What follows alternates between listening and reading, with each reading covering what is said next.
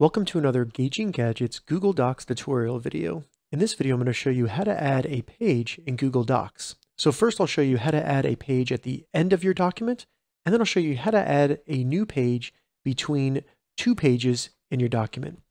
So the first thing we need to do to add a page at the end of our document is to simply select the text at the bottom of the document, then go up to Insert in the top menu right here, go down and select Break, and then select page break. If you don't want to go in the menu, you can also use the keyboard shortcut control plus enter if you're on a Windows 10 computer, and this will show differently depending on the device that you're on, if you're on a Chromebook or MacBook. So simply select page break. And as you can see, a new page has been added to the bottom of my document. All right, so now let's add a page between two pages that have content on them. To do that, all we need to do is go to the page that will be after the new page. So as you can see, we have these two pages here. I'm going to go to the top of the page after the new page, select at the top of the page, and then go to Insert in the top menu.